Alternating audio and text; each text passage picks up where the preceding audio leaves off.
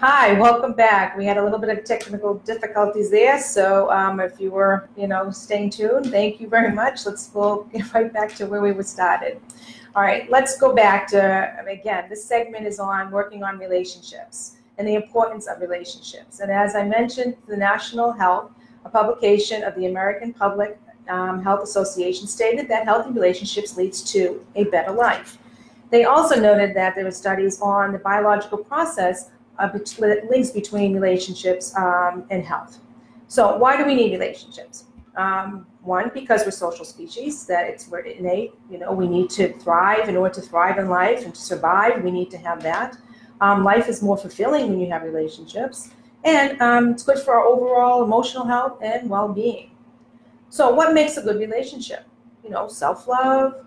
You know, maybe it's trust, honesty, forgiveness, communication, connection all of these are important requirements to, um, for any type of relationship. However, does our personalities get in the way of our relationships? We, as we talk with flowers, when it comes to the Bach flowers, the flowers work on emotional states. Now, it could be either passing moods or some of them are more personality traits. So, what does it mean in passing mood?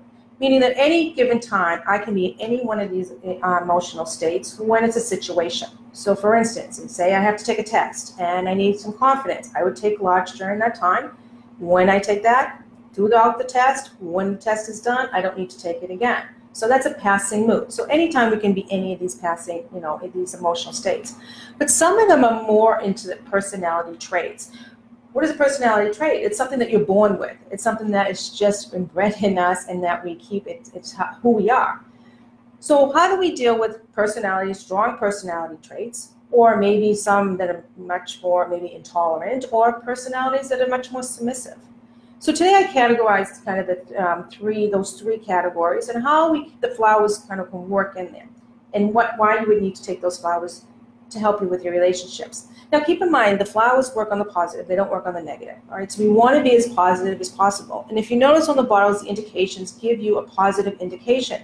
Now, although we're looking at when you take the test, it's a negative state, they all have good qualities. So there's no wrong personality, there's no wrong state. It's just that it's out of sorts at that moment, and that's when you want to, to re, it's almost like to kick you back in, bring you back to balance so that you're in control, puts it into perspective. So keep that in mind. These are not, you know, it's not bad that you may have a more controlling personality versus, you know, a submissive one. And then also note too that you may not know what your personality is right now. It takes time to be able to understand and learn the system to, to know which one. But let's go over a few of these so to help give you an understanding of how they would actually, when we have one personality versus the other, they would clash. Okay? Let's look at Vine.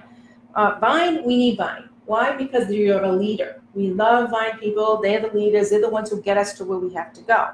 However, when you would need to take Vine is that when you cross the threshold and you became too dominant where you become more manipulative, you become more pushy. You, you're you're not you're not motivating at all. You're actually basically being too dominant. So the person that you're dominating, it becomes either submissive or intimidated.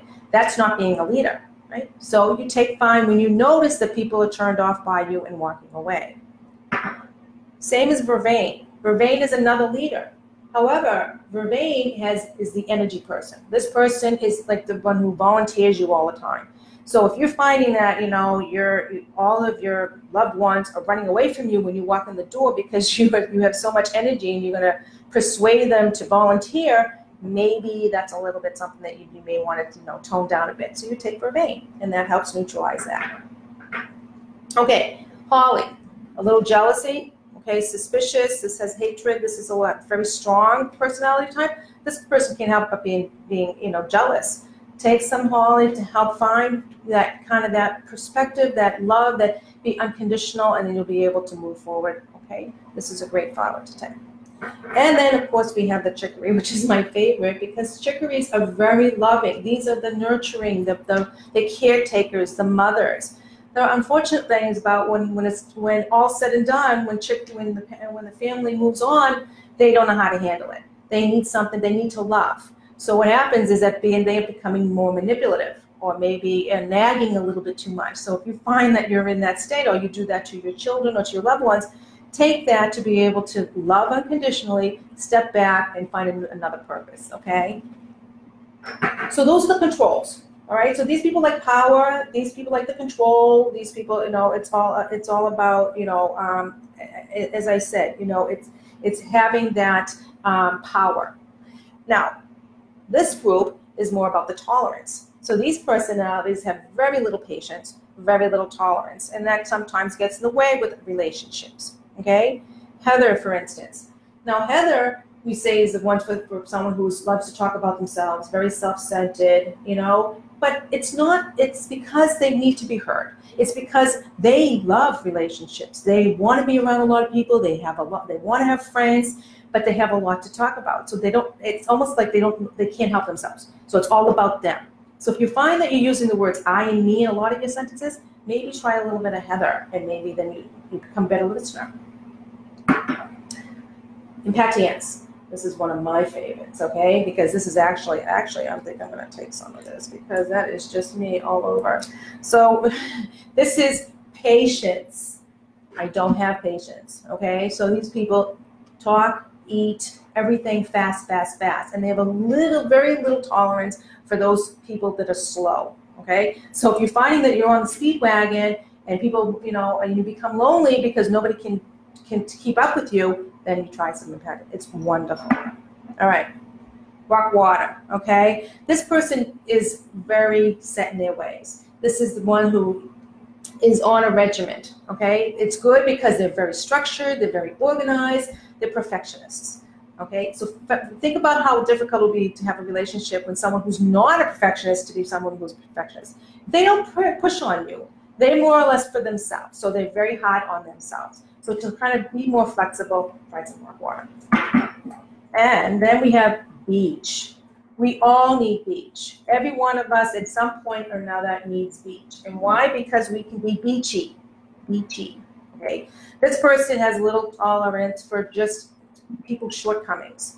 So they're critical. They, you know, they mark and they, and, and, it's something that, you know, after a while, when you notice if you hear yourself always complaining or, or, or criticizing how other people do that, then you want to take some Beech, okay? But Beeches are good because, again, they're passionate about what they do. So it's not bad to be beachy. It's just when you crossed over, when you're doing it a little too much. So we want to take Beech. All right. Now we have the submissiveness. So you have the dominant, impatient, and submissive. Now figure out if you're how these would all work together. It'd be very difficult if you're having a submissive personality with a relationship with a control personality and if they're not in sync. Here is water violet. Water violets, they're very proud. They're very aloof. Sometimes they come across as being maybe a little snobby, but it's because they don't, they're uncomfortable with connecting. You would never find a water violet person in a large crowd. You know, you just don't do that. They like to be in their in their own little zone. So it's not a bad thing, but if they're in the, in the zone by themselves all the time, is that healthy? No, because why? Because we're a social species. So they need to connect. All right, so you take that. Um, Centaury, this is to be more assertive. Okay, Centaury are very weak-willed, and it's not because it's more because they don't like the confrontation. So if you put yourself last on the list all the time and you're being dominated by others because you don't like the confrontation or you don't want to, it's just easier to just please everybody, then take some Centaury. Okay, this will help give you that perspective. And Mimulus, okay, shy and timid. This is very popular. So if you're finding you're shy, you're timid, this is a good one to help give you that confidence, the courage to be able to face that relationship. And lastly, we'll talk about the wild rose. Wild rose shows empathy. Wild rose is a, is a person who just doesn't care. You know, they just go through life, you know, well, it is what it is. I don't worry about it. You know, they shrug a lot. You want to go to dinner? Ah, yes. Where do you want to go? I don't care. It's like, wow, okay, you know. So if you take a wild rose person and you match it up with somebody who's with an impatient person, how, how do you think that will go? Right? This drive this person crazy. Just make a decision. We don't care. Just make it. We're fast. Just go, go, go, go. We don't care what it is. But this one is gonna I don't know. So it takes a wild rose, get a little more enthusiasm into yourself.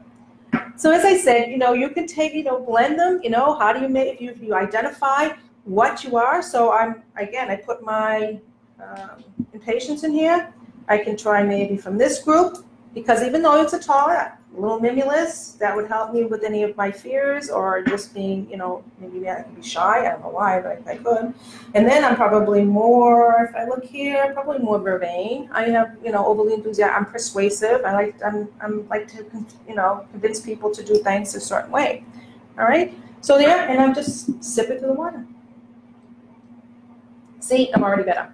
Um, so or you can make a mixing bottle. Remember, you can blend up to seven at one time. So again, you put two drops in here, and then from this becomes your blend.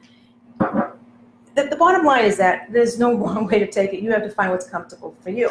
You want to take the test to determine, you know, what is holding you back. Remember, ask those questions I've always said to you. How do you feel now? What, you know, what, what, you know, what's holding you back? What are you struggling with? Any experiences you haven't done?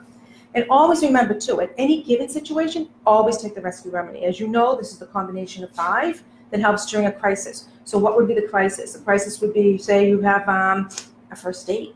That would be very stressful. Okay, so maybe you would take that during the time of a, of a first date, or any confer- you know, uh, uh, conversations you're going to have that's going to be very uncomfortable, or any uncomfortable situation at the moment. This is it, you're at the moment.